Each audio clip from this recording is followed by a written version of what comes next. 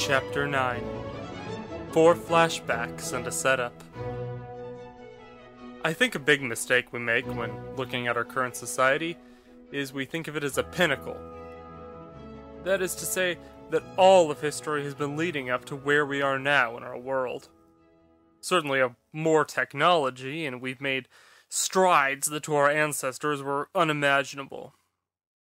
But that doesn't mean we are the first, and it doesn't mean we are the best versions of ourselves, or even that our descendants will be. The equality of one society can drain away into oppression with a flip of a regime, and people can lose their rights just as quickly. Ideas can be forgotten or called heretical, and the world can revert into a state that would have been called barbaric a few decades before, while still being more advanced than it ever has been before. This happens when we stagnate, when we give up that desire to reach for the sky, and instead lower our arms with a shrug and say, Eh, good enough.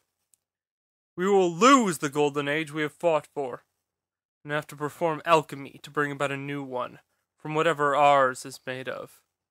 And I don't know about you, but I've never seen a politician who can pass for an alchemist. Professor Freeman Xavier. Graelyn looked down at her hands. These were hands that had done hours of pipetting, had stroked cats, had carried coffee, had run along the silent glass walls of Atlantis. There were cuffs around these hands, sturdy metal cuffs that didn't bend. Her wrists were sore as hell. Next to her, the intern of her other self sat frozen, her face trying awfully to conceal her terror. She glanced at Graelyn occasionally for support, and she gave back thin smiles, which was the most she could manage at the moment. Across from her was a man, she guessed from Central America? He didn't look particularly bothered by the situation. Gray lines dotted his black hair in that signature way that screamed the man was at the strange meeting point between the wisdom of age and the physique of youth. The lines on his face showed he might be older than he looked, though. The van bumped, and they both rose from their seats as far as their bindings would allow, only to crash back down. Graelyn stifled a grimace. The man looked totally nonplussed. She had seen him before.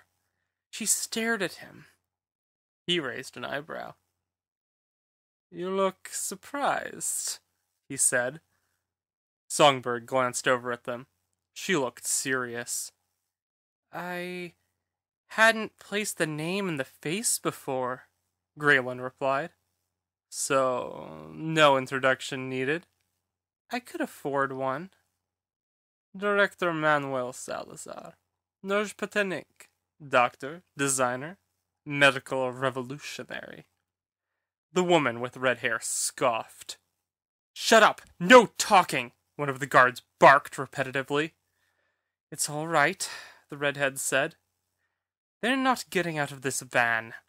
Graelyn let the vehicle roll on a few more moments before she replied, staring at the red-headed woman. Who are you? Graelyn asked the woman. The man snorted comically. She didn't look up. Don't tell me you don't know. Graelyn shook her head, and despite the redhead not looking at her, she seemed to notice it. I'm Alice MacLeod. You might have heard of me by the name people have given me, the Songbird of Liberation. Alice looked her in the eyes as she said Songbird narrowing her gaze into pinpricks of light that burned her retinas to meet. She turned her eyes away. I take it you're important, then. One of the guards laughed. The intern seemed to think Graelyn was trying to be snarky. You can't be serious. I'm very serious. I don't know who you are. You're either a fantastic actor or a terrible one.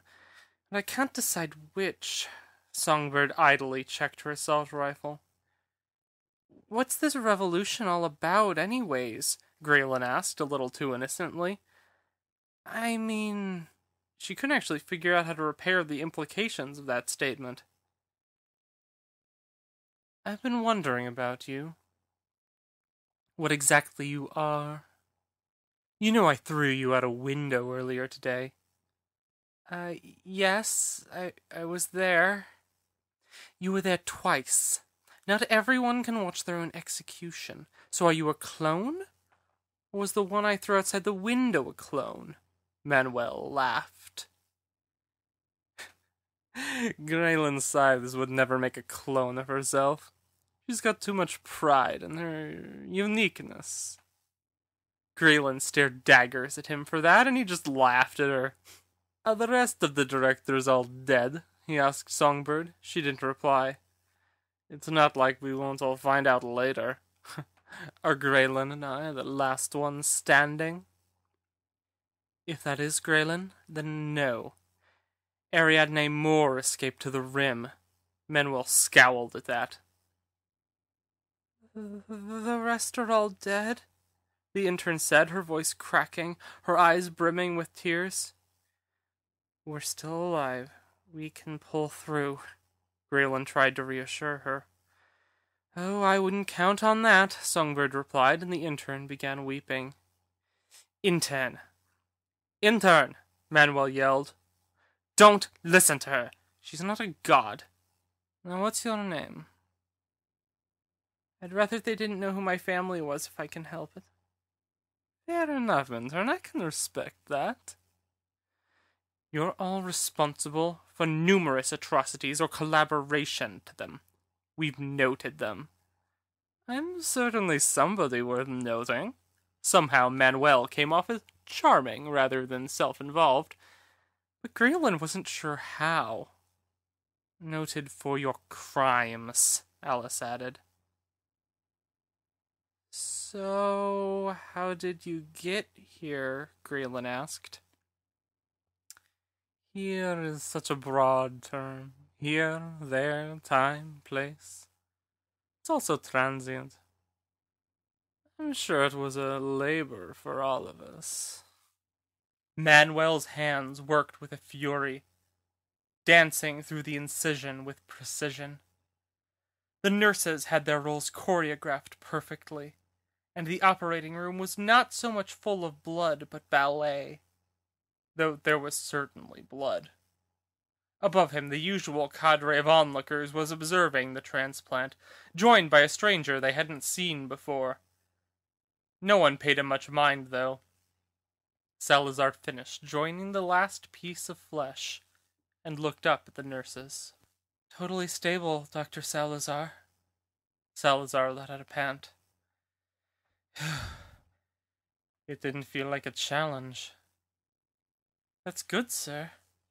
He shook his head as he exited the operating room and began to remove his garb to wash up. The other nurses could take the patient from here, so he and Nurse Maya exited. That boy's genetic abnormality should have been untreatably fatal, sir. But you surgically corrected it. That was a miracle. No one has your hands. Now that I've done it, we can run it into the machines. They'll figure it out. These hands are nothing. Irreplaceable. He splashed water on his face and looked up into the mirror. Such a young face for a doctor.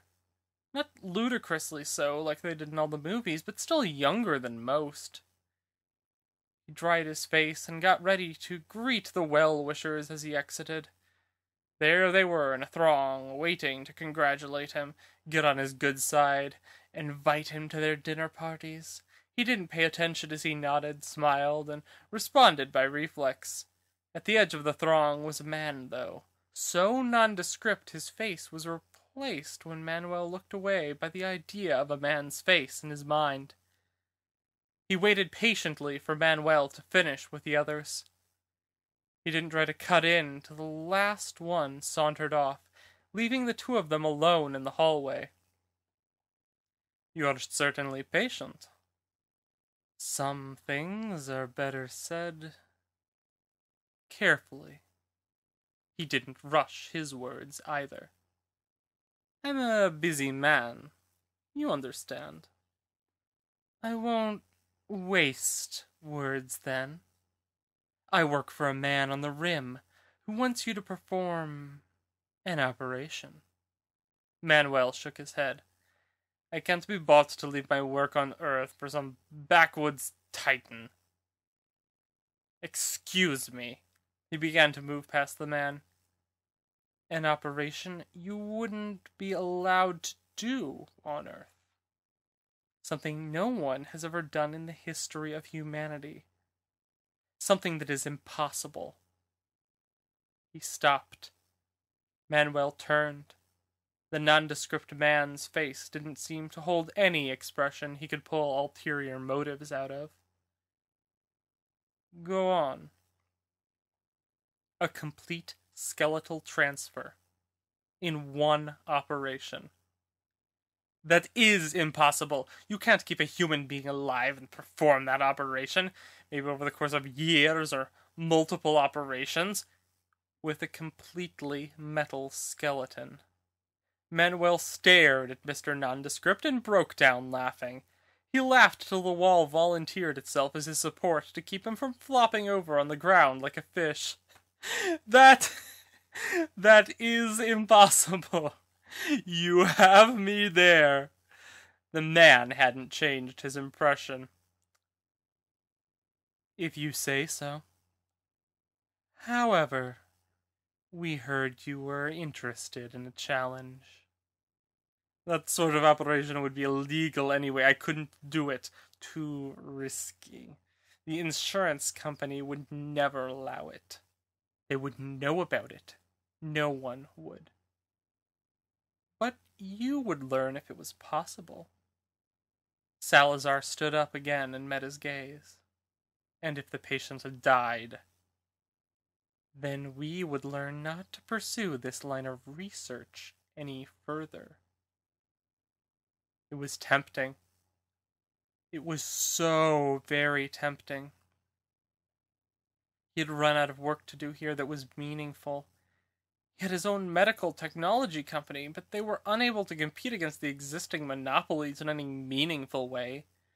He did surgeries that there was no known program for the machines to do, and each time lessened the number of possible surgeries for a human to work at in the process as the machines learned from him. He was in all likelihood making the last significant gains in surgery any human would. Taking the final step was almost too much to resist. I am curious. Ambiguous, senor? How did you learn about me? The man changed his expression for the first time. He smiled she is already a fan of your products. Manuel stood in front of the door to the medical ward, running his hand along his smooth chin. The flight to Europa had been long but harmless, and Manuel was itching to begin. He had brought Maya with him, of course, but no one else. This was a sort of secret mission, medical espionage. He found it both funny and exhilarating to be going behind the backs of Earth's leadership. The unmemorable man opened the door and gestured for him to enter in. Inside was a teenage girl's room. The one decidedly of a girl who didn't leave it often. There were medical apparatuses all over the place, and a large rack of books, many of which were on seemingly advanced topics especially anatomy, chemistry, and biology. A few on famous serial killers, some romance novels, some sci fi novels about something called The Next Generation, with a man with a band over his eyes on the cover, and some of those inspirational essay books. The wall had a few paintings and posters, mainly of flowers and pastoral landscapes, but also of a death metal band or two. From the bed, his patient looked up at him. Not an inch of her skin was visible, as she was wearing a soft, flexible suit from head to toe. Her face an oval mask, with a single eye on the right side. Manuel recognized the design well. It was his. A giant exclamation mark appeared on the girl's face, and he saw she was using it exactly as intended. The plush lung was supposed to be a way for people who had incurable, debilitating illnesses to live. The suit worked directly off signals from the brain and made communication and movement possible for people it had been impossible for. Micromotors in the joints aided movement. The suit kept any extra germs out and helped stabilize and treat any conditions of the patient within. For these patients, Manuel had figured that being trapped inside such a suit would be horrific as well as liberating, for even though it allowed patients with paralysis to walk thanks to its machinery, their expressions were muted by it as well.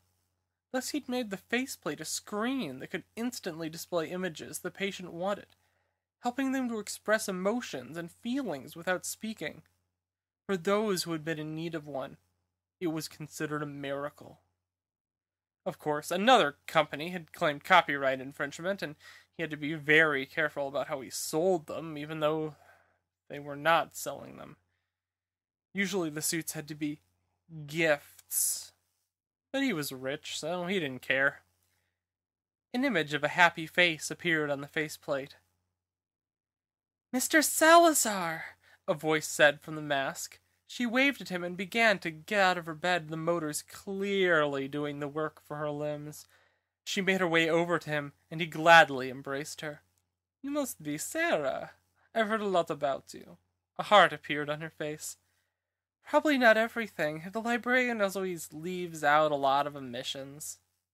Omissions? She made her way back to the bed and sat down. Well, did he tell you why he wants me fixed up?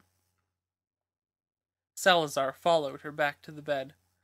I was told he had a vested interest in you. That's a way of putting it. She reached over to her side of the table and pulled out a tablet, which she pulled a picture up on and handed it to Manuel.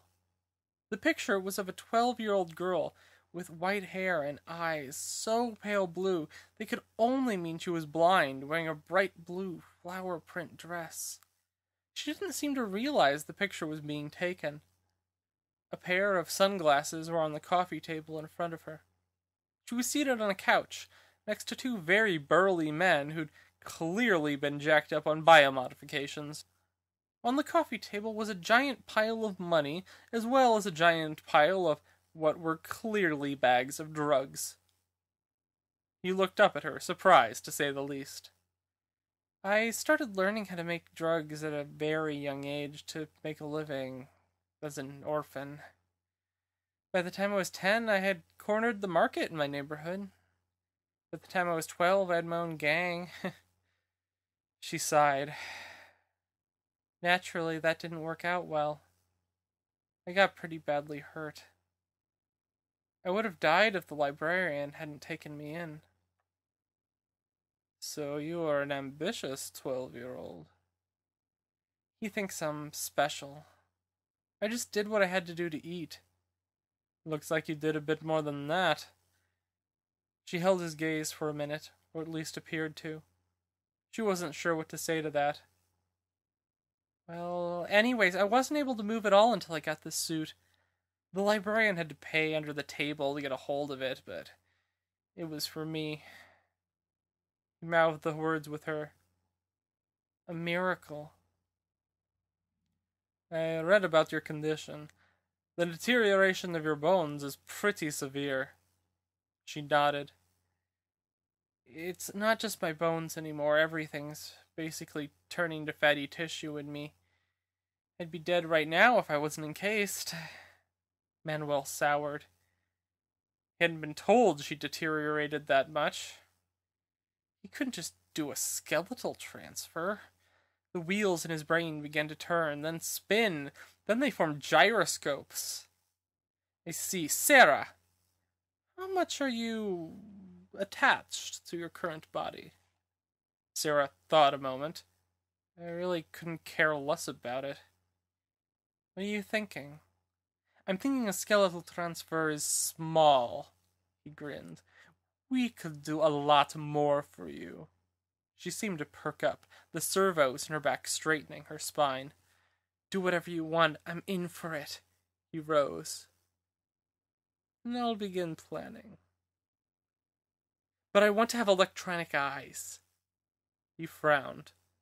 You could have the finest biological eyes in the solar system. She shook her head. I was blind when I was born, and the first time I saw was when I was put in this suit. I don't want to learn to see again. Just give me the best sight you can. I don't care if it looks funny. One last question, Sarah. Who's on these books, the next generation ones? That's Geordi. He's blind, but he can see through an electronic band over his face. Manuel smiled. It was so important for kids to see people they thought of like themselves on book covers. He walked to the exit. And Sarah? I'd say we have ourselves an operation. The operation was difficult, to say the least. Everything had to go n- nearly. The skin had to be removed to be reattached later. It was one of the few things worth saving. Her muscles and bones were basically mush, and most of her organs had failed at this point. He replaced all of them. Using a printer, he had manufactured her new body parts, using an improved version of her genome, and carefully removed and reattached them to her system.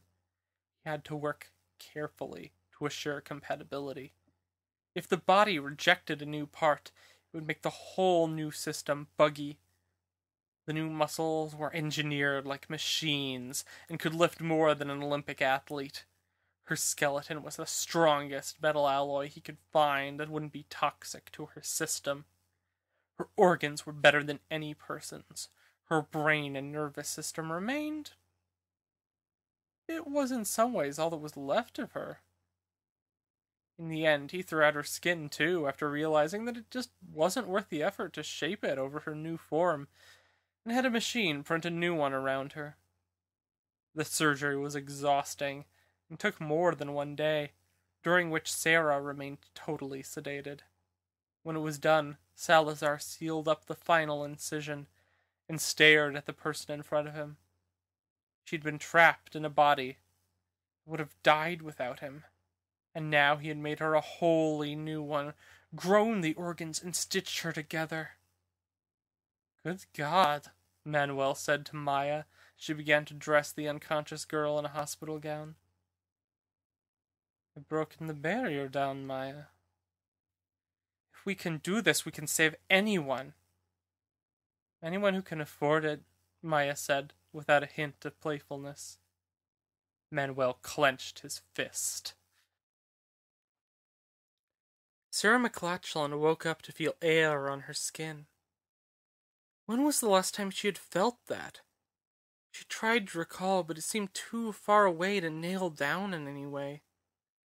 Her vision cut on, and she could see the ceiling raining light down on her from luminescent panels. Raising her hands in front of her, she saw skin and nails. Her arms felt strong. Sitting up, she felt down her body, reaching under the hospital gown to feel her shoulders, her back, her breasts, her stomach, her sides, her hips, her legs, her toes. She felt her face, her cheeks, her neck and ears, and her new stubbly hair. She let out a shriek of joy and carefully moved her legs out of her bed. Her feet touched the tiles. They felt cold. What a wonderful sensation, cold. She had been perfectly temperature controlled in her suit. What a wonderful joy to be cold. She took a breath and got to her feet. She stood without any help, without motors pushing her. It was all her own body. She wanted to run, but she was still attached to the IV and didn't want to try to remove it herself. Pushing the IV with one hand across the room, she went to the mirror and stared at her own reflection. This was her face. Her own face, hers forever. Her hair was just stubble, but it looked like it would be brown when it grew out. She thought she'd have the white hair she had as a child, but whatever, she wasn't complaining. But the best touch was her eyes, because she didn't have them. Instead, there was a half oval over her face, running from temple to temple, over where her eyes would have been. Geordi LaForge, she smiled, and the first real surprise happened. Her teeth, like the rest of her bones, were a shiny metal alloy peeking out from behind her gums. She was shocked, and then shocked to see a look of shock on her new face. Then she grinned. I like it. Chrome teeth. There was a knock on the door, and she said with her own vocal cords, Come in. Manuel entered, with his nurse Maya and the nondescript man. She scooted over with the IV as fast as she could and embraced Manuel and Maya each in turn. You like the new digs? he said with a smirk. I love them. She became keenly aware she was smiling with those shiny teeth. Maybe she'd use that as a moniker. we know that you'll be working for the librarian now, probably doing very illegal things, but try to remember what it was like to not have power. She nodded. I will. What will you do now? Manuel's face seemed to take on some sort of operatic tone. I'm going to remember what it was like to be powerless. The CEO of Algenhoser Medical Systems rubbed his 400 credit haircut warily. These numbers aren't good. How on earth did this happen? Linda, a vice president, shook her head. Earth is exactly how it didn't. Nojpatent Inc. has been selling heavily off world at discounted prices, and we suspect has found a partner in the Rim who can smuggle the goods to Earth and give them a cut of it. The CEO looked up. That's illegal! We can't prove anything. We'll buy them out. She shook her head. They're privately owned. We can't buy stock in them. Unfortunately, a new voice cut in. Your investors aren't so faithful as mine. A man in a gaudy black blazer with red and white stenciling on the breast walked into the room like he owned it, holding a black briefcase. Excuse me, you're not allowed in here. The man pulled up a chair to the CEO's desk and put his feet on it. Actually, I think you'll find I am. He reached into the briefcase and pulled out a pile of documents which he handed to the CEO, who looked over them bewildered. Sir, Linda said. It says we've been bought out? The majority shareholder is now someone named Manuel Salazar? The interloper grinned and stretched back in the chair. Yes, he now owns it. Really, he owns you, and being that I am him, I own you. So you can call me Sir. The man set the forms down. You insolent bastard! You can't just walk into my office and buy my company! Manuel looked around, wide eyed. What? I I can't? Why didn't anyone tell me? Well, I suppose then I can't terminate you immediately and cut your prices to something people here can actually afford. The CEO stood up, gritting his teeth. You can leave this room right now. No, you can. Do you want me to call security on you? This is my office! Manuel smiled and gently dusted his shoulder off. Maybe you gringos aren't used to being at the bottom of the food chain, but it's too late for you. You're part of Nojpatent Inc. You need to accept it, or you can be devoured. Linda, get security. Get. Linda bit her lip. No, sir, I. I think it's time for you to leave. I'm sure Mr. Salazar has a lot to get done today. The former CEO's jaw dropped, and Manuel reached over and ate one of the candies on his desk. It's my pleasure, Director Sarkozy began, to welcome Mr. Salazar to the Board of Directors of Centro Systems. Nojpatent Inc. has successfully taken the world stage in medical technology in only a few short years. We're honored to bring him on board today. Manuel walked up to the front and shook Ebenezer Sarkozy's hand. The rest of the room applauded him, and he smiled. A woman in a very stylish black dress really stuck out to him, though. He'd certainly heard of her, the elusive director, Ariadne Moore.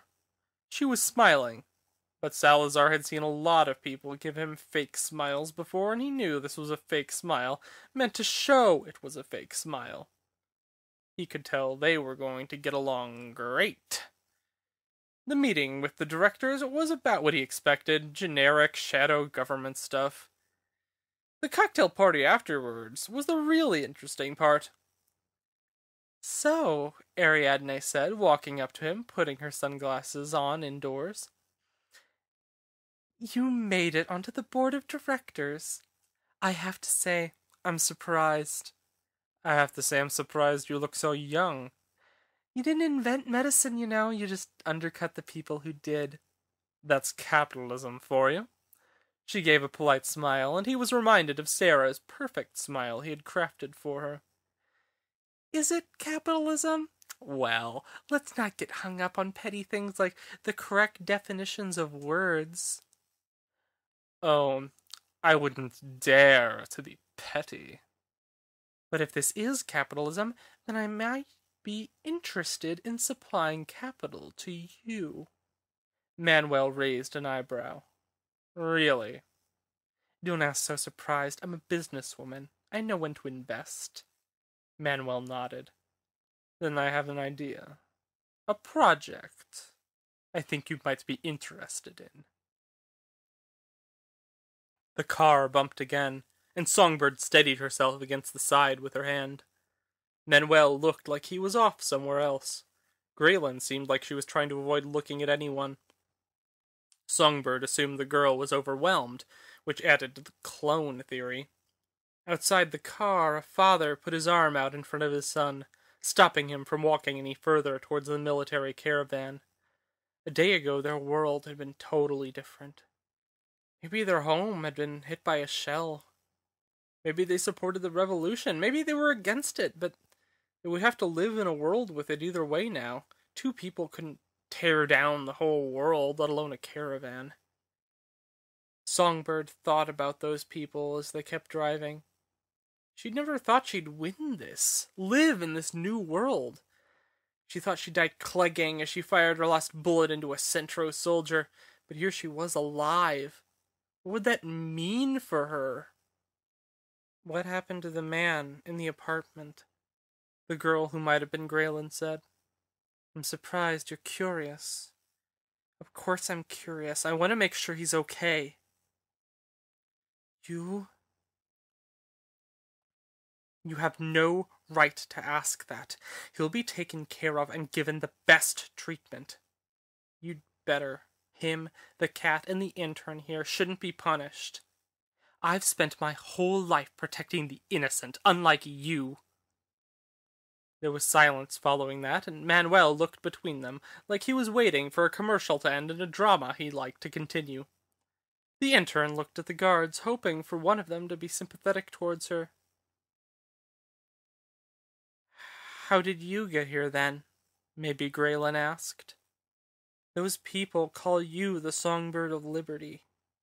What does that mean? She turned her back to her. She looked uncomfortable in the cuffs, and she remembered the first time she'd been forced to wear them. She bit back, reflecting on it. It means I become a symbol of freedom against the oppressive systems on Earth. Manuel scoffed at her. Well, I've certainly heard his story, though I'm still annoyed he won't tell the end of it. He certainly talked himself up. That was the truth. Whether you believe me or not is your fault. I have to admit, I'm curious about your story now, too. Alice looked between them.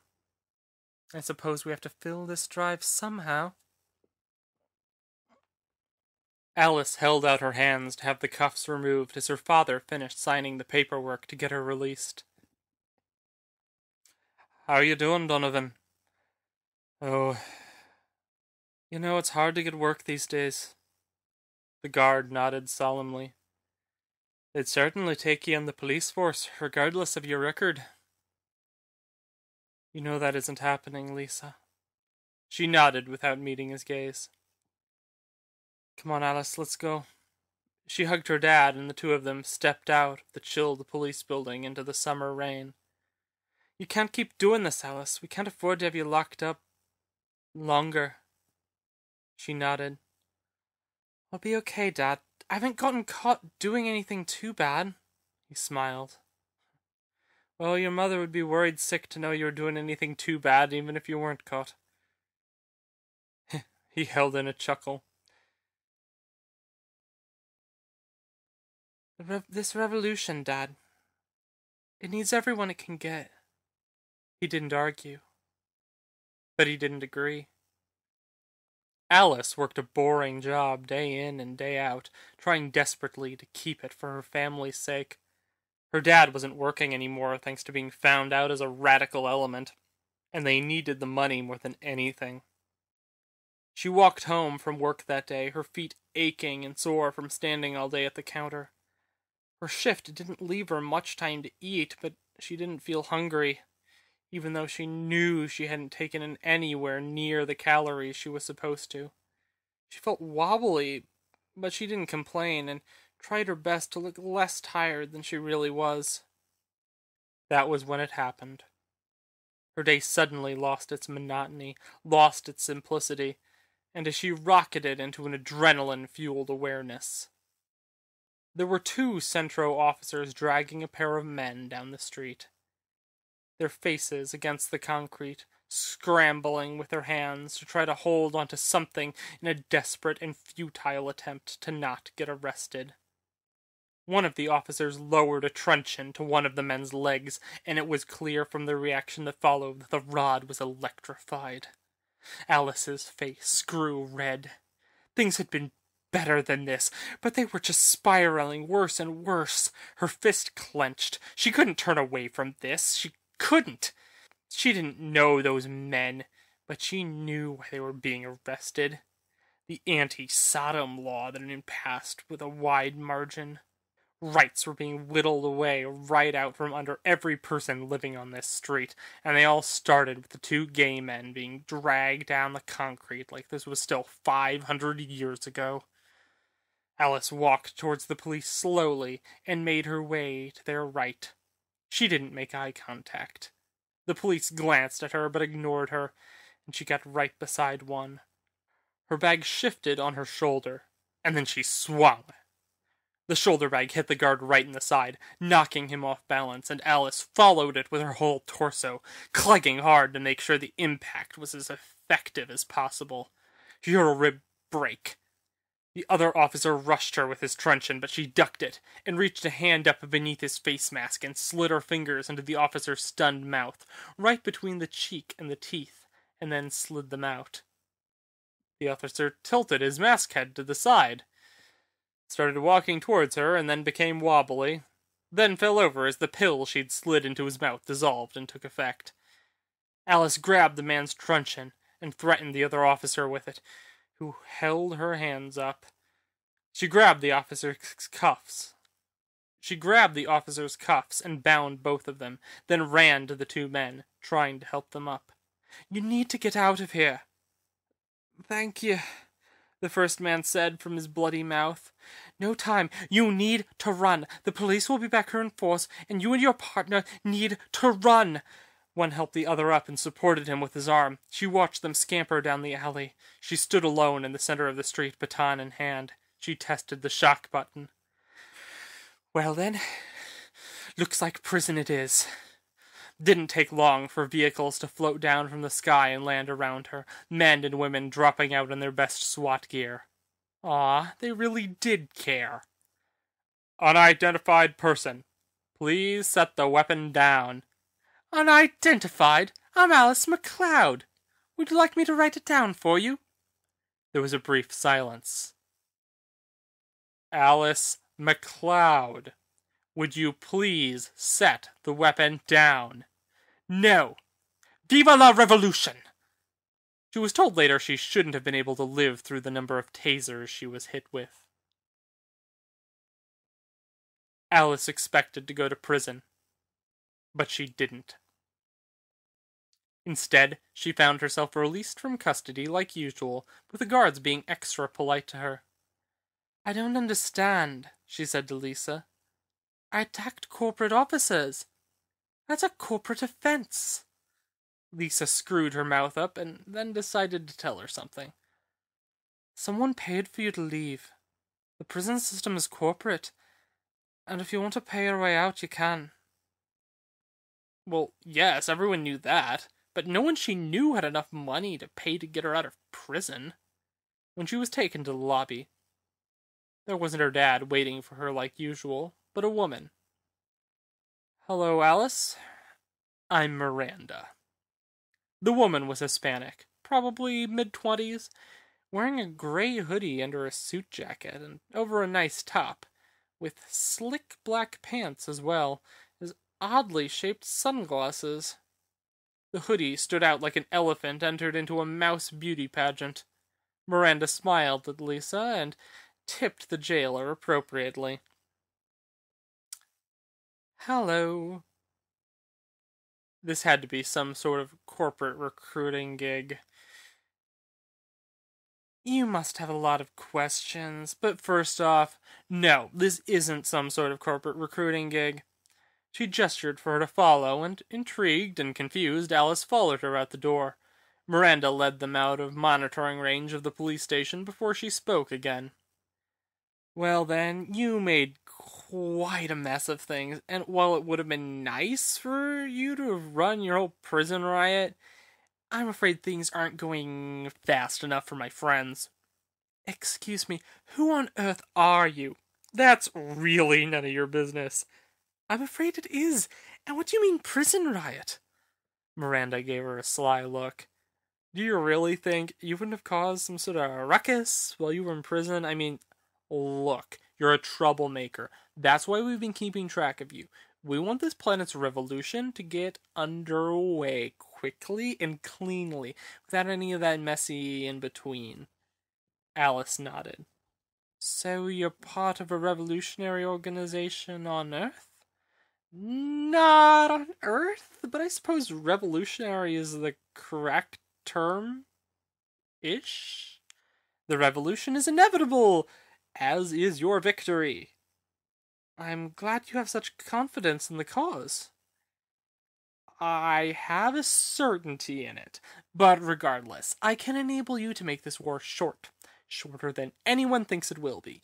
It will still take months, but not years. That's impossible. I'm an idealist, but Centro is so dug in. Miranda put a finger to Alice's lips. Shh. Think bigger. What if I told you I could get you the codes to all of Centro's automated defense systems. You could shut them off, appropriate them, drop their drones from the sky, turn off the camera system that lines the entire city. That's impossible! Alice laughed. This was insane. Then explain that. Miranda pointed to the cameras on the street. They had all turned to face the sky. I don't. We're not being watched. You don't have to be. We have made the arrangements. Miranda held out an old style paper business card. On one side was a symbol of half a sun and half a crescent moon merged together, the sun's rays somehow seeming the twins of the moon's horns. On the other side was a post office box number with a key code beneath it. In that box is everything you need to overthrow the planetary system. You can only access it once, and the codes will be the codes for that week. Don't blow your opportunity. Miranda took off her suit jacket and threw it at Alice, who caught it. It was a nice suit jacket. She turned and began to walk away, the back of the hoodie showing the progression of a sun into a moon through subtle metamorphosis. Why should I trust you? Miranda shrugged. I don't care if you trust me. Fight a decade long war and decimate the planet. Your call. Miranda turned into an alley and Alice bolted after her. But she wasn't in the alley when she reached it. She looked down at the thin piece of cardboard. If this was real. She put on Miranda's suit jacket and slipped the card into her pocket. If this was real, it meant the world. It had taken a lot of persuading, a lot of yelling matches with different leaders over encrypted phone calls, but it was happening. or would be if this was real. She'd stake this all on trust in a stranger, but if it was real, it was an opportunity she could not pass up, a once in a lifetime chance. If it wasn't real, then Miranda was right. Alice would fight that ten year war. But if she could avoid that, turn the world over with minimal bloodshed. Alice inhaled and held her breath as she walked towards the post office boxes and held it still as she tapped the code into it. Okay, be real. Be real. She reached inside and found a small gray box with that same half moon, half sun image on it. Pulling it out, she turned it over and over in her hands. There was a single hole in it, a standard computer connector port. It seemed pretty obvious how the thing had to work. Stuffing it inside her bag, she hurried outside. The box carried a heavy weight in her bag, and it drug her down. It was like she was carrying enough gold to buy the whole world from the hands of the corporate overlord she'd been fighting her whole life. She went back to her family's apartment and got ready to make the call. General Ewell Hammondtree had fought against Mars. He had been there during the great disaster there that ended the rebellion in Mars's favor. Ewell had been at Venus during the disaster of the failed base there and barely escaped with his life. But nothing prepared him for that Tuesday. Monday had been boring. He only remembered that he'd eaten a cheese sandwich during it, but Tuesday, oh, he'd never forget Tuesday. Pacing the room, things seemed to be going in order for the first few hours of the day, and then. Then he noticed something. Corporal Towson, Bring up screen 51. The corporal did as ordered. He watched the footage. It was a street filled with people bustling through it. Corporal, bring up Monday's footage, same time. The corporal did. They were the same.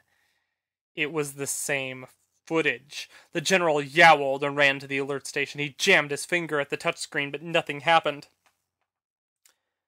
What is going on? I've lost control of my station, sir, someone yelled, and then more voices joined in in a chorus of it. We can't lose London.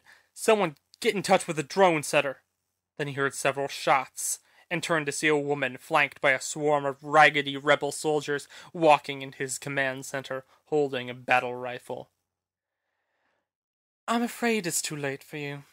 You know, your people outside have been yelling into their communicators for half an hour while we fought our way in. You might want to put your weapons down on the floor. Several people did. Several tried to draw theirs. The latter were shot with cunning efficiency. Who do you think you are? Alice MacLeod of the World Revolutionary Council. Who are you? General Ewell Hammondtree. Now, young lady, you'll stand down. The people are singing for liberty, General. Now get out of my way. He puffed his chest out and straightened his tie. I'd rather die. She shot him in the leg. Let's compromise. She stepped over him and took out the box from her bag. They'd used it to break into the base, and it had gone gloriously, but now. Now was the real test. She plugged into the console, and the screens in the room all lit up with that same sun moon symbol. Hello, my name is Alistair, the Brox crooned through the speakers. Could you please supply me with your name and username? Alice MacLeod, she said, kicking the general's hand away from the holstered gun he was reaching for and grabbing it herself. Username. She looked around the room. She used to sing in the tavern her dad's friends met up in. They said her voice was as pretty as a nightingale, a wonderful songbird. Well, it was her friend Jack who called her that first. She smiled at him he was nervously holding a gun towards the crouched room of technicians. Call me Songbird. The screens displayed a black and white image of a songbird, and Alistair spoke again. All right, then, Songbird. I'm at your command. She smiled. They always said I'd set the world on fire. Let's get this started. From one bird to another. Let's take theirs out of the sky. For hundreds of years, the world had been monitored by a linked system of satellites and drones. For hundreds of years, everyone knew that everything they said was being recorded. And then, on a Tuesday, the drones fell from the sky. Next, the cities began to fall, and the people at the top, who had feasted on the fruits of those beneath them, came tumbling down, as it turned out, often fairly literally, as Alice took a predilection towards executing CEOs by hanging them out of windows. The prison labor camps were the next thing she freed the people there being worked to death for having wrong ideas or wrong lifestyles cheered her as she liberated each camp, their bodies thin and bruised, their cries weak. She got out of her vehicle and hugged them, touched their hands, talked to them. Soon they began to call her the songbird, and it stuck. City by city fell, and it became clear the world would fall far quicker than the ten year war they had anticipated. Then she went to Mexico City. Jack was by her side, of course. He always was, as the hovering craft flew towards the city. So, Alice, I was thinking, when this is over, there will be a lot of cleanup work. We'll have to be really on top of the leftover central elements. No, um, Alice, I mean, I was thinking about us. She checked her rifle. It was in perfect order. About us what? Alice, you know how I feel about you. She sighed. Jack, I'm not interested in you. We've been through this. She counted a moment in her head. Nine times, actually. Well, maybe ten, not sure if that counted. Okay, but when the war is over.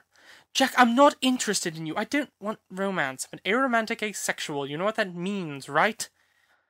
Yeah, but I Thought that might change when the war is over. Alice scooted away from him a bit. I'm not who you want me to be, Jack. I'm sorry. The hovercraft landed, and they stormed off. She raised her rifle and tried to get back into the mindset she needed. The first Centro soldier popped up, and she was fast on the trigger, capping him right in the forehead before he could level his gun. The gunfire moved into full force, and she lost track of herself. She shot through the smoke, diving over barricades and obstacles, slamming her rifle butt into the jaws of enemies who slipped through the smoke, and leveling again quickly to take shots at those far away. She was made for this, and she was merciless, not out of anger, but out of precision. Her violence was exact and total. Her heart raced as she ran through and shot a soldier trying to close a side door into the base before he could, slipping through right after him. She had forgotten that there was still a battle behind her. She stormed the hallway. Not that there were many people in it. She shot those who opposed her and tied up those who surrendered. The rest of her troops made it into the building, and she stood in the cleared space, leaving the rebels who saw her with a bold and ludicrous impression she could have done this herself.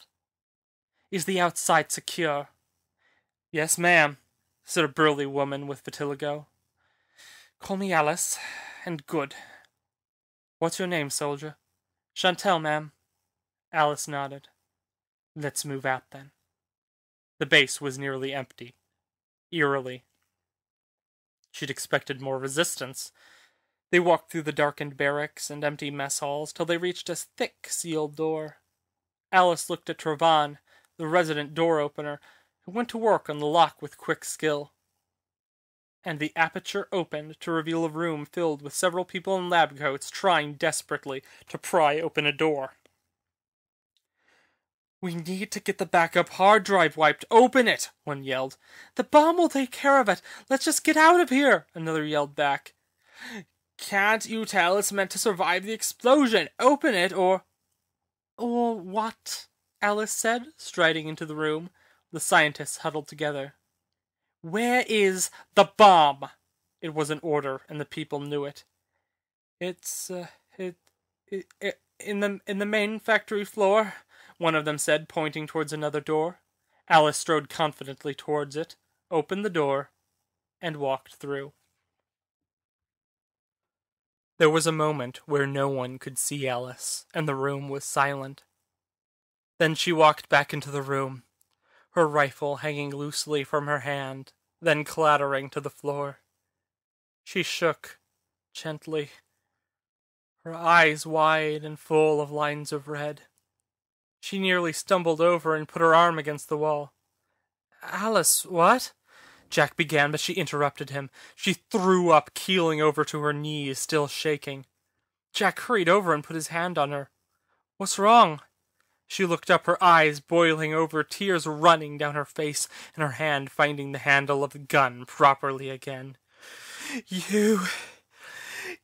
You. You did that! She looked at the scientists. I. How could you? I. She began gagging again and threw up a second time. She staggered up and pointed the gun at them. Hold up, Alice. Don't do anything hasty. No, no, this isn't hasty. This. Jack, you don't want to see what's in there. I promise you. There's nothing that could provoke you killing these people. She looked at him like she had seen hell, and he shook his head and walked towards the door. Jack, don't go in there. I promise you, you can't unsee that. Don't! He ignored her. He walked in. All they heard for the next two minutes was him screaming. He walked back in, even more shaken than Alice had been. He looked at her. Do it, he muttered. Do it! We, we, we, were, we were just following Graelyn Scythes' orders, one of them yelled. Please! Just following orders? Songbird's voice was loud enough to echo through the building. Just following orders! There is no order that could justify that! There were seven scientists in the room. Alice's hands shook so much she used ten bullets, but the effect was the same. Standing over their corpses, she motioned for Travan to go in and disarm the bomb. I'm sorry. You shouldn't have to see that. He nodded. He needed her help in the end to do it himself. He was shaking so much. But the bomb was disarmed. As they flew back, Songbird stared at the giant complex. The complex she never wanted to see again. She only had one thought that she said out loud during the trip back. I'm going to kill Graelyn Scythes. No one argued it. Graelyn stared at Alice. Her hands were shaking. Her jaw trembled. She fingered the rather banged up cat pin on her lapel, but couldn't get a grip on it. What did you see in there? You know. I don't know. You know! Alice yelled. You can't tell me if you're really Graelyn Scythes. You don't know what was behind that door. And the only reason you're not dead yet is we don't know. And the WRC is starting to cool down enough they want trials instead of battlefield executions. That you and your friend made a strong case for your survival. Arch? she asked, full of hope. Yes, you can thank him later. You're a brainwashed victim in all this. Some poor confused clown, or. What was it he said in that elaborate story of his? What did you say you were? Manuel asked. The truth, I hope. He said you were from an alternate reality. Balderdash, of course. Ma'am, should you really be talking so much with the prisoners? A woman with vitiligo skin said. It's all right, Chantel. I have leeway on this matter. The WRC is just as curious as we are. Well, if we're telling our stories, what about you, intern? She shook her head. I don't want to say anything I shouldn't. Get family in trouble. Of course. How about you, Scythes? What kind of a last name is Scythes, anyway? sounds made up. It's my real last name. So then, Graelyn, Songbird interjected, how did you get here? It's a long story. It's still a long ride. We have time. Start from the beginning. The beginning? She knew where the story really began, but she didn't want to start there. She thought she'd begin somewhere easier to talk about, when, but when she started talking, things spilled out she hadn't intended, and she kept talking. As beginnings go, it wasn't one she would write down. Graelyn shifted her hand to swirl the beaker, holding it up to her eyes. Wasn't exactly reacting like it was supposed to, which was curious. The lack of reaction was just as interesting as getting one's. Uh, Graelyn, didn't you say you had to be somewhere at seven? She turned to look at the person speaking. It was Professor Hanson. Uh, yes, I've got a date with Ashlyn then. You probably want to get ready to go. It's a quarter till.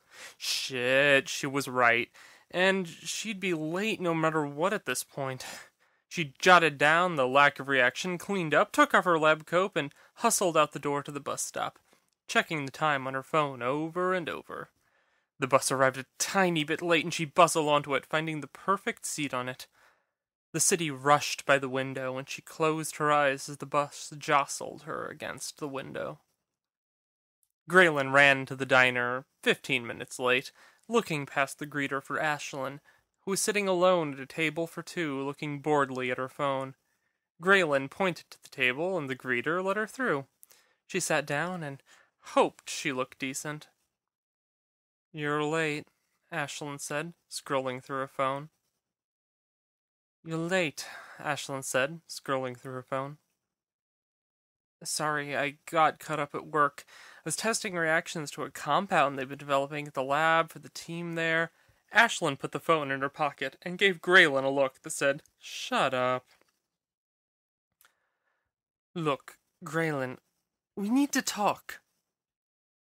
Okay, well, I'm here, so go ahead. We can't keep doing this. Graelyn was silent for a moment. If you mean me being late, I can set an alarm next time, or. No, Graelyn. That's just a symptom. You're forgetting to take enough time to set an alarm to remember our dates as a symptom. Honestly, why are you even in this relationship? They stared at each other for a moment in silence. Graelyn rubbed her fingers together under the table. The waiter came by, and each of them ordered something which felt more like a commitment than was prudent with how things were going. Of course, I want to be in a relationship with you. I dumped Peter so we could date. Yes, and when you dumped Peter, he told me to watch out for you because you would act like you cared about people more than you did so they wouldn't leave you. You're 15, Graelyn. You don't need to hold on to this like it's going to be forever if you don't want it to be. I'm 17, and I don't have to put up with this. Also, you dodged the why question. Graelyn squirmed in her seat. She felt her face turning red and her hands becoming ice. You have so much planned out together getting an apartment together when you go back to London, supporting each other. Ashlyn pursed her lips, her shoulder length brown hair swaying back and forth as she leaned in. She always wore such nice outfits summer dresses or skirts and sweaters a few times suits, but the way she preferred skirts and dresses to pants was one of the things that had drawn them together in the first place. We do have a lot planned out, and that's why this is important. Because I'm not going through with a plan with someone who's only half involved in it. You're always late.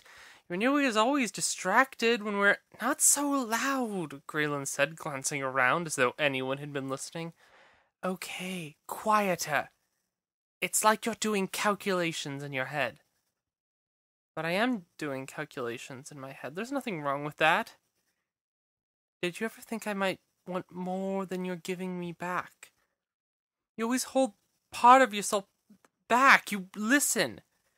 But you don't talk about yourself, just your work. And who spends all their time at a lab at 15? I mean, I started dating you because you seemed a lot more mature than you are. You're two grades up in school and doing lab work at 15. That's impressive. It really is.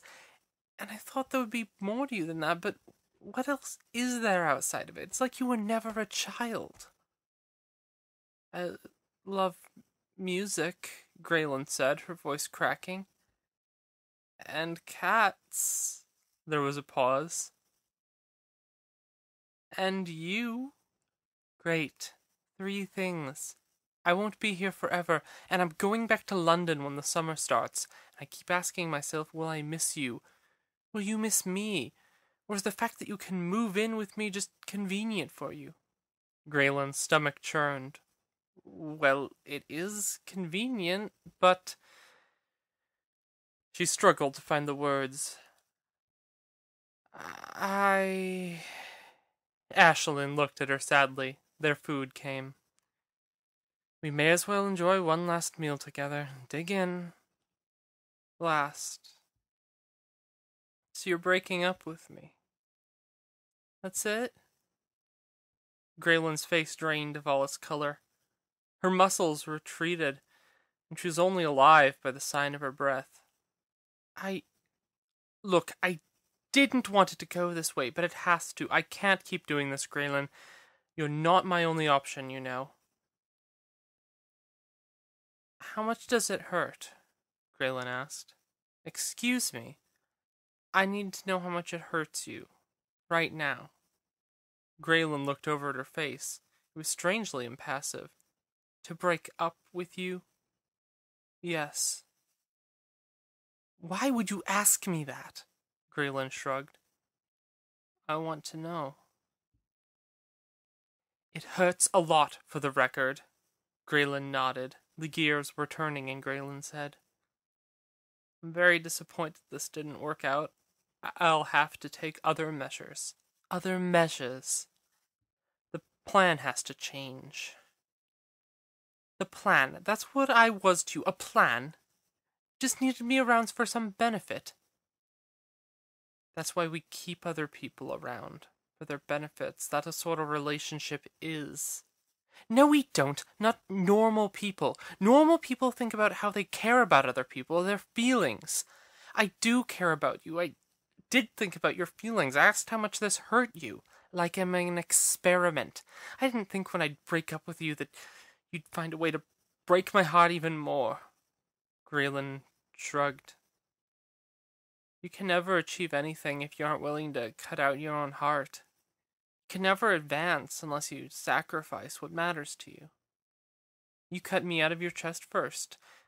I don't benefit in you anymore, and I can respect your calculation.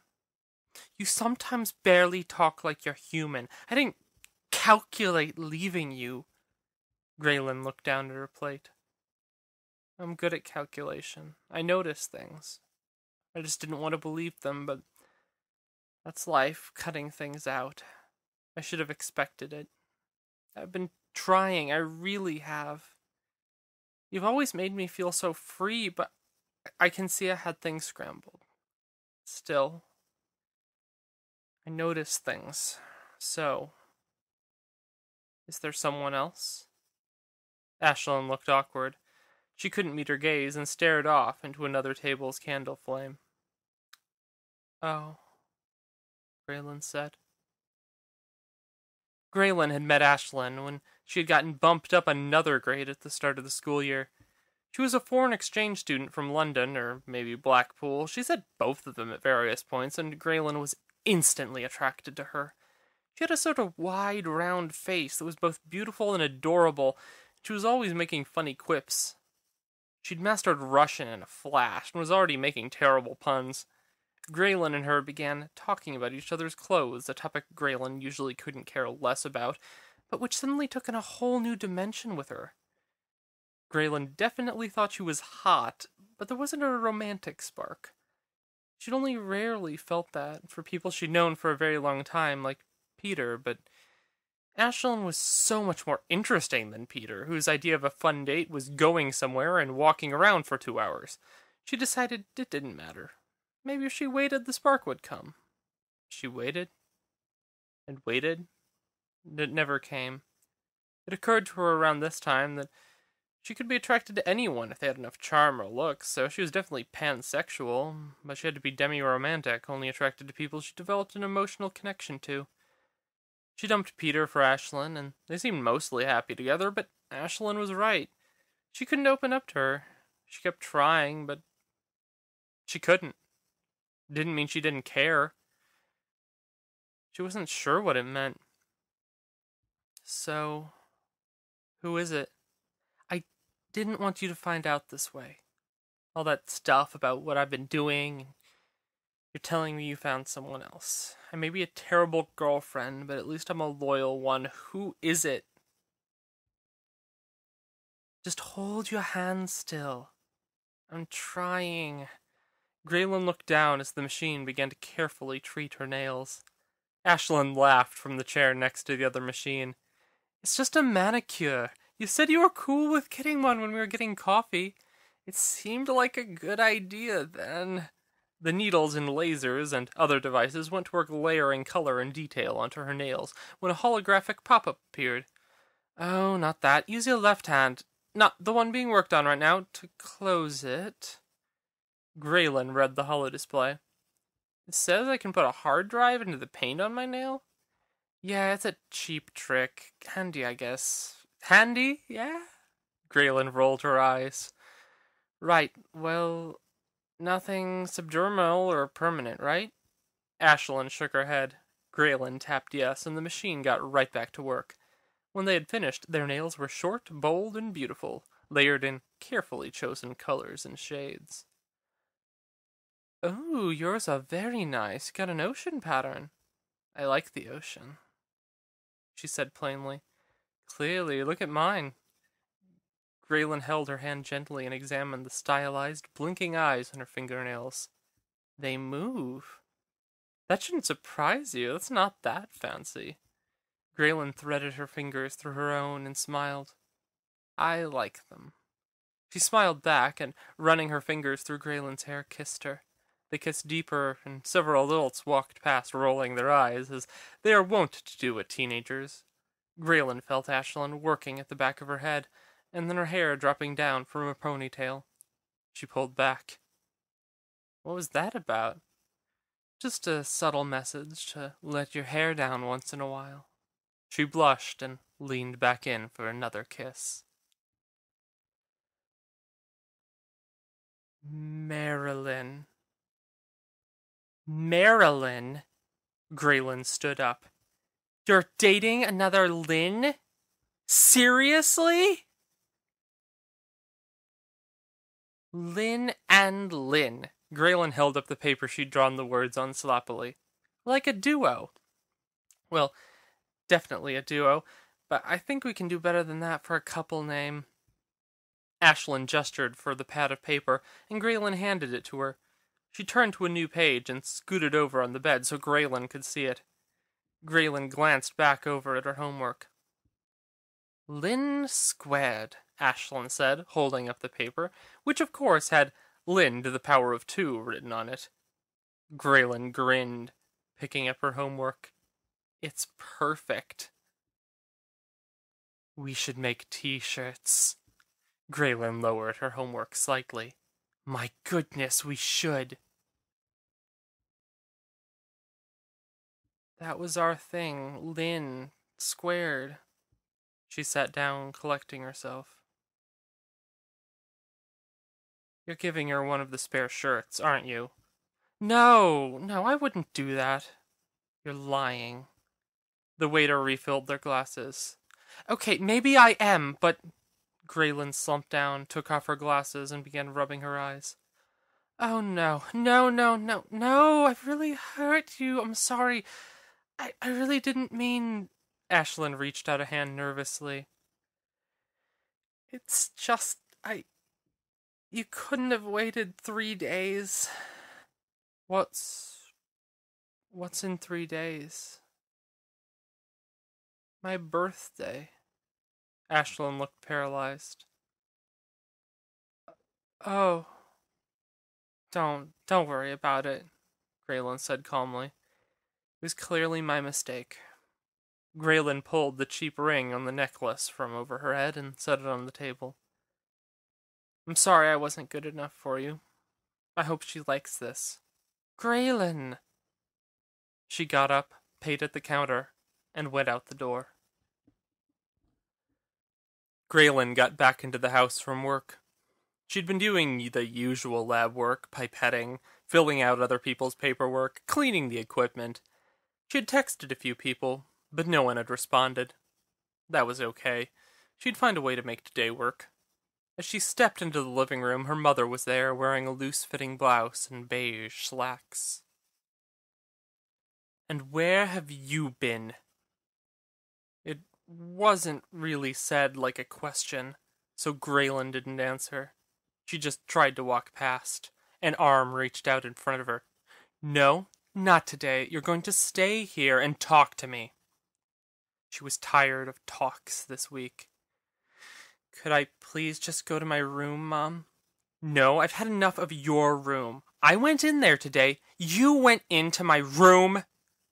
Graelyn's eyes went wide. She pulled her phone out of her bag, tapped the screen carefully, and set it on the mantel. Yes, I went into the room I gave you, and guess what I found? What did you find? Her mother reached down to the table and picked up several internship flyers. What did I find? I found these flyers for internships outside of Moscow. They weren't there when I checked your room yesterday. I can go where I want. You're just a teenager. What do you know about anything? Are you going to go off and explore the world like some useless hippie? You are staying right here and you're going to be useful. You've never been as driven as your sister or as smart as your brother, but I'm not going to let you be a total loss. Graelyn gritted her teeth. You mean like Xandra? Maybe I'd like to be Xandra. Her mother glared at her, and Graelyn's voice caught in her throat. You're not going anywhere, and that's final. You're staying here, and if you try to leave, I'm calling the police on you. And you're not seeing that girlfriend of yours anymore. Ah, yes, you thought you could keep that from me, too. Hm. Many may have accepted that immoral bullshit centuries ago, but us scythes are better than that. Well, You got your wish. She dumped me three days ago, Graelyn muttered. Good. Then you won't be mad I burned everything with her name on it. Graelyn gasped. She'd still held the Lynn squared shirt while she slept this week. Not that she'd ever let Ashlyn know that. You burned my things? Yes, and I'm going to be keeping a much tighter leash on you, you little slut. I'll be picking you up when you finish your shifts now so you don't get up to anything. Understood? Yes. Yes? Yes, ma'am. Good. I'm glad we understand each other. I thought you might amount to something, Graelyn. She shook her head. I really did. But you're just as much a disappointment as Xandra. Maybe we should set your sights lower. I don't think you can get into the programs I was expecting you to. You put such a burden on me. I've worked so hard for you. How could you hurt me like this? My own daughter. I bet Andre wouldn't have put us through this. It probably would have been better if you'd done a better job when you were nine. Graelyn had been making the slow shuffle back towards her room, ready to grab her phone and leave, but that stopped her. She gripped the edge of the mantel tight, her hands shaking. She'd been ready to give up. She had been. What did you say? You know exactly what I said. Graelyn began shaking uncontrollably. Her teeth clenched together. She tried desperately to keep herself calm, but it wasn't working. she tried to breathe, but it hurt to. How dare you? How dare you? How dare you? How dare me? Her mother reared on her, putting her strong hands on her and spinning her around like a beanpole. How dare me? See? Graelyn stuttered through her fear. This is what Dad left. Her mother's eyes turned into fireballs, and she felt the hands leave her sides. Her mother's breathing was heavy and deep. Graelyn began, but whatever it was, It was never said. The blow came suddenly, like a thunderclap. For a second, Graelyn saw her mother's hand in the air and began the instinctive flinch, but the blows usually came where no one could see them her back, her chest, her sides. The slap hit her right on the side of the face. Not a light slap, but one with the weight of a punch. Her ear rang. Her cheek burned like it had been splashed with fire. She tried to right herself, but another slap hit the other cheek and she lost her footing. Then again! She couldn't feel her glasses anymore. They must have fallen off, and she couldn't hear what her mother yelled through the ringing in her ears. Just that there was yelling. She could barely see. Everything looked so cloudy, and she realized that she wasn't standing up anymore. A foot hit her in the ribs, and she cried out, Mom, please! She managed to whimper, but the foot came again. Then there was nothing, and she felt a hand around her ponytail. For a second she imagined Ashlyn had come to rescue her. But these were not those fingers, and they pulled her whole body up by her hair, the weight straining on her. She wobbled and managed to stand before another blow landed on her face. She rose again, hiding her own face with her hands. She held back her tears with years of practice. You will never talk to me like that again, young lady. Never! Graelyn nodded. Look at me when I'm talking to you! She widened her fingers so her right eye was looking at her, but not her left. That is the last outburst I will ever hear from you. You should be grateful I was this nice to you. You got lucky today, young lady. Graelyn nodded again. Yes, I did. Good. You're an idiot. Her mother's face grew red, building up for the next explosion. I'm a what? You're an idiot. Graelyn turned her face away so she couldn't see the right half of it and pointed with her right hand at the mantel where her phone sat gently recording the whole event. She returned her hand to her face. You shouldn't touch it. It's already uploaded and backed up, Graelyn said, somewhat louder. You. You.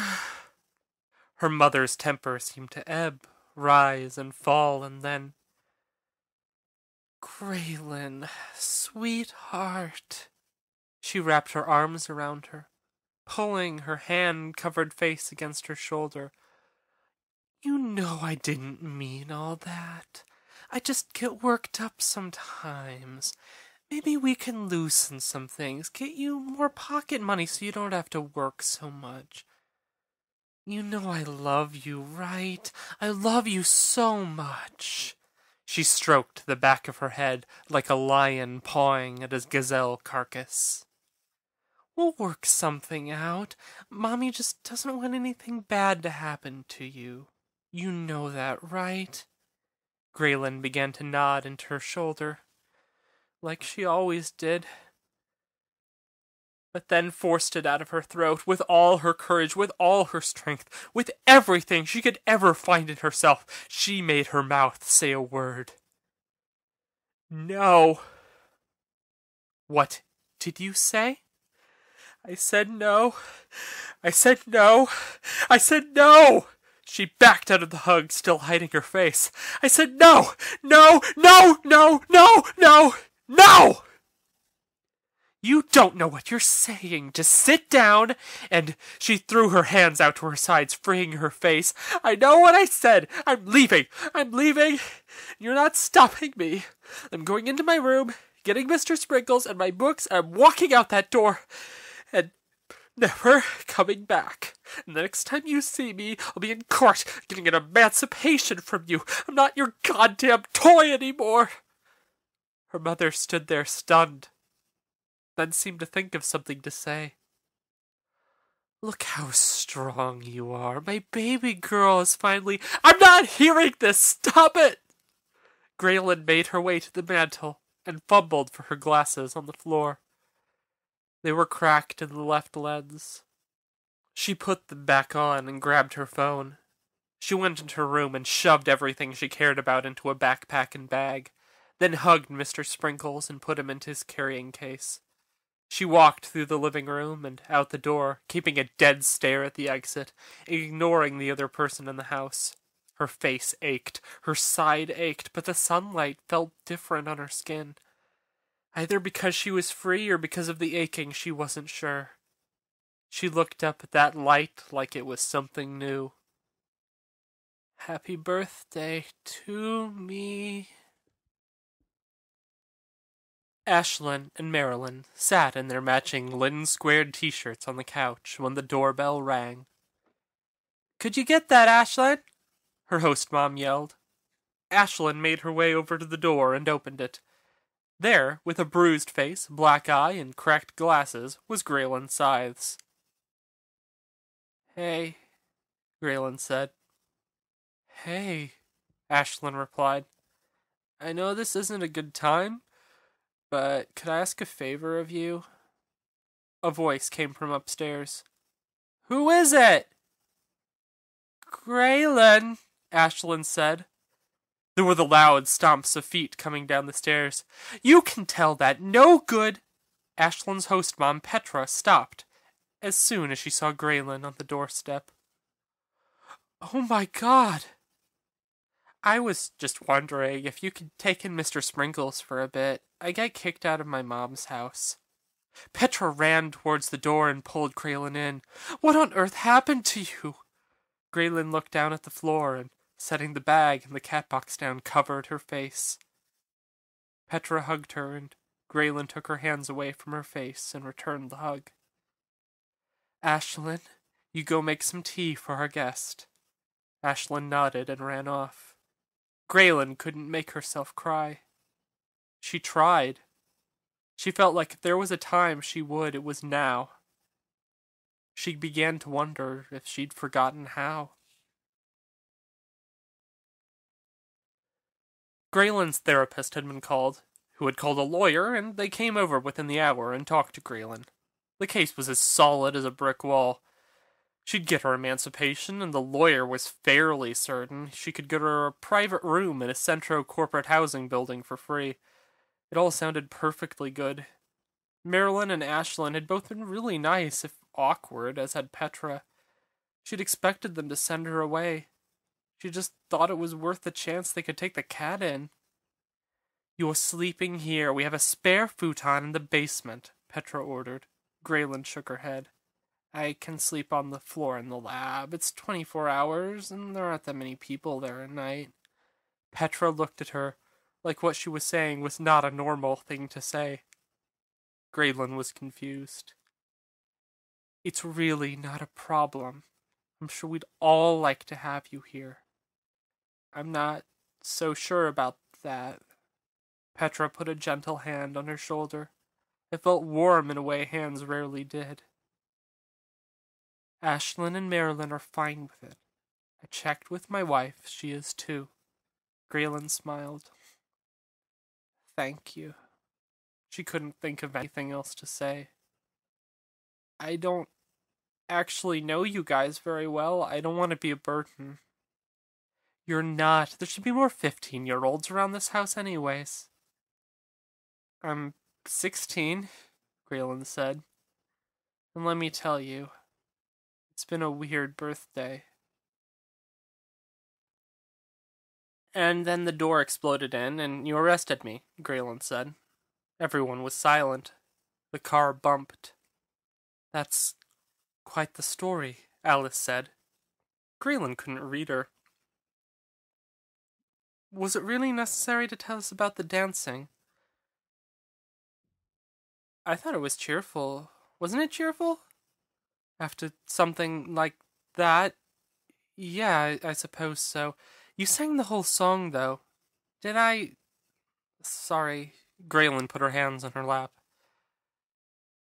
So you're not. not really Director Scythes, the intern asked. But you're still Graelyn Scythes? from another universe. I'm an intern myself at the moment, or was. So, what's the verdict, senorita? Believer? Manuel asked. Alice was impassive. We're almost at her stop, ma'am. Alice. Uh, yes, Alice. The vehicle pulled into a prison, where the doors were opened by a group of revolutionaries.